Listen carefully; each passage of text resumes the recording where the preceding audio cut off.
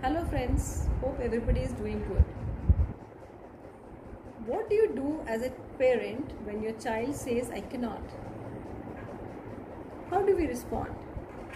We say, Till now you have not done it. And this child says, No, I cannot. I am feeling really frustrated. So, how do you help your child not to get frustrated? We tell them you have to persevere. But what is the meaning of perseverance? Perseverance is not getting frustrated and saying that I cannot do.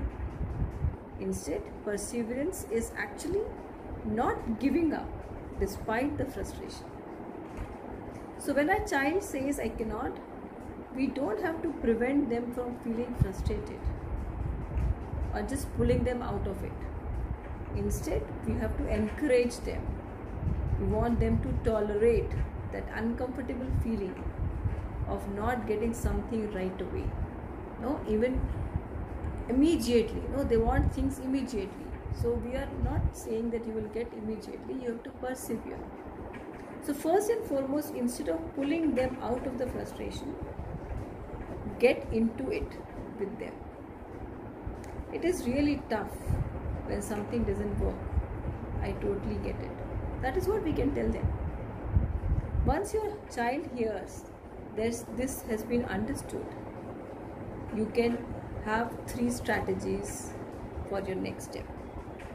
First one, offer some break. So we can tell them, you're working very hard, but let's take a break. Probably after the break, you will have a fresh, fresh uh, perspective.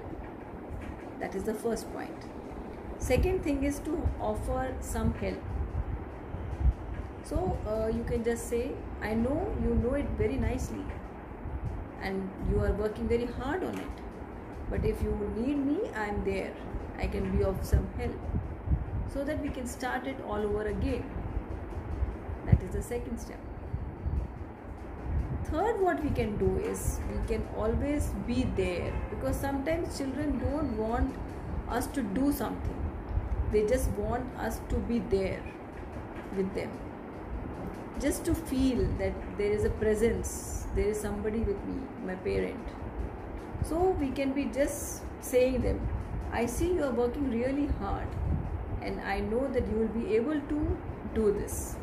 And but still if you know if you really need i'm here. Just those words just your presence will make all the difference. So friends hope this really helps you. If you have any questions please put down in the comment box. And if you have suggestions for the new topics please give it. thank you so much. Thank you. Have a good day